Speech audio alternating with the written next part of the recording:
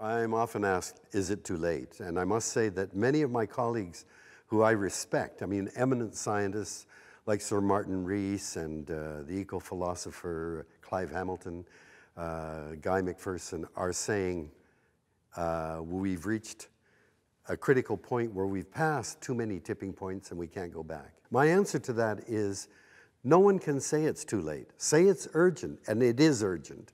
We have a crisis looming of enormous proportions, but we don't know enough to say it's too late. And I use uh, an, an example, a real life example. The most prized species of salmon in the world is a sockeye salmon, bright red flesh. And the biggest sockeye run in the world is in the Fraser River in British Columbia. We like to get 20 to 30 million sockeye coming back in a season. And in 2009, just over 1 million sockeye returned to the Fraser. And I remember vividly turning to my wife and saying, That's it. There isn't the biomass to get up to the spawning beds for the sockeye. They're, they're extinct. One year later, in 2010, we got the biggest sockeye run in 100 years. Now, I say that not showing how stupid I am. Nobody knows what happened. Nature shocked us. And I believe we don't know enough to, to know what other secrets might be there. If we can pull back and give nature room and a chance, I believe she will be far more generous than we deserve. But it's very, very urgent. I was in the belly of the beast in the United States uh, the week leading up to the election on November 8th, and I was in Boston with friends on election night. And I must say it was a stunning, stunning uh, result. I think people, certainly I am shocked because what we try to do is to present our ideas, our discussion about what is climate change, what is causing climate change, using the best possible scientific evidence that we have available. And you hope that you can have a rational conversation and a debate and discussion, but based on, on facts, on what we know. And of course, there are still lots that we don't know, but to the best of our knowledge, we argue uh, about the situation. And don't think this is just about in the United States. We now have a leadership run for the, uh, for the Conservative Party in Canada, and Kellie Leitch is pushing a Trumpian kind of agenda about screening people on uh, immigrants on the basis of whether they have the right values for Canada. But Michael Chong, one of the candidates, said we need a carbon tax to deal with climate change, and he was booed.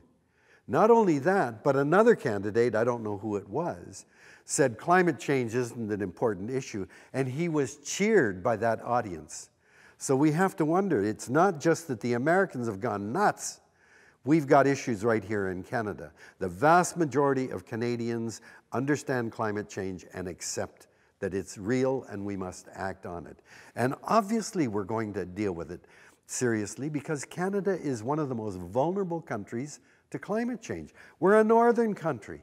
Inuit have been telling us for 40 years something's happening to weather and climate. They know that, that it's getting warmer. And we have the longest marine coastline of any country in the world. What happens just from the warming of the oceans? Water expands when it gets warmer. And as the great ice sheets of Greenland and Antarctica fall into the oceans, you're going to see rises, not in inches or, or, or centimeters. We're going to see rises of meters in a very short time. Catastrophic for a country like Canada. And then you think of our, our climate related uh, industries agriculture, forestry, fisheries, tourism, winter sports. I mean, all of these now are at tremendous risk from climate change. Canadians understand there is a great deal at stake in the coming years if we don't deal with this issue and do something about uh, reducing our emissions. Young people today ask me, what is the most important issue? Is it climate change? Is it ocean degradation? Is it deforestation? Is it toxic pollution? Is it species extinction? I mean, there are a lot of very, very serious ecological issues on, on the line. And I say, look, I don't know which one. Right now, climate is looming as a huge issue, but any one of these could ultimately be the, the issue that will do us in. They're all important and serious. But underlying each of these issues, what is causing us to uh, carry on in such a destructive way is what exists in our brains. It's the way we see the world. Our brain is formed by our experiences the way we grow up, our gender, our ethnic, uh, our ethnic uh, basis, our religion, our socioeconomic class. All of these things shape the way we literally see the world. And when that happens, the input comes in from our senses. The brain actively edits the information so it fits into what we already believe. So getting people to change the way they act through is very difficult if it clashes with what they believe. let me give you some examples. I went to a village on uh, the side of a mountain in the Andes in Peru, and I learned there that the children are taught this mountain is an Apu. Apu means God. And as long as that mountain casts its shadow on that village, it will determine the fate of everyone in that village. Now imagine how those children, when they grow up, will treat that mountain. Compared to a kid in Trail, British Columbia, who's taught all their lives that mountain is full of gold and silver. You see, the way we see the world shapes and determines the way we act towards it. So, is a forest a sacred grove, or is it just an opportunity for timber and pulp? And when something is sacred, you simply don't treat it the way you do if you simply regard it as an opportunity or a resource. And so I think that we radically have to shift the way that we see that world because that will, will shape the way we behave towards it. And right now, we are behaving in a way that has no respect for the sacredness of the earth. We don't regard the earth as literally our mother. Children today, I find, are very, very aware of the environmental problems. I don't think they're as aware of how critical the issues are, but it's their entire future that's at stake.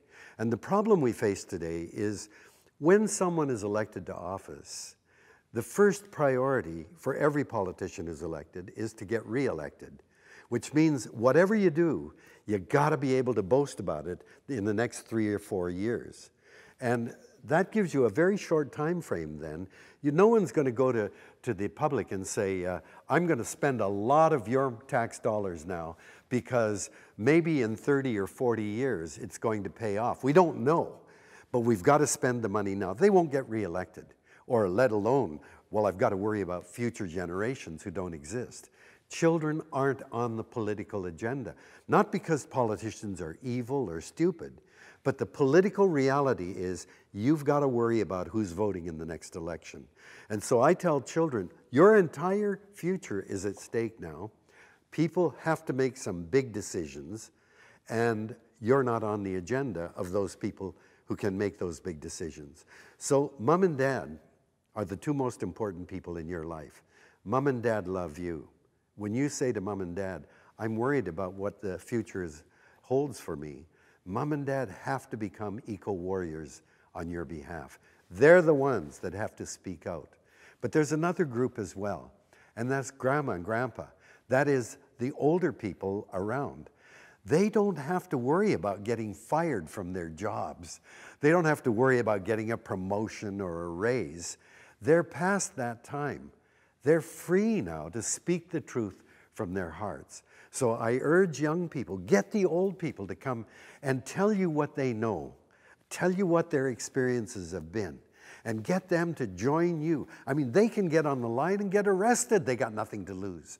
So they're the people I think that you look to for young people to join. And with the urgency and the muscle and the activism of young people and the wisdom and the experience of older people, you've got a very powerful combination.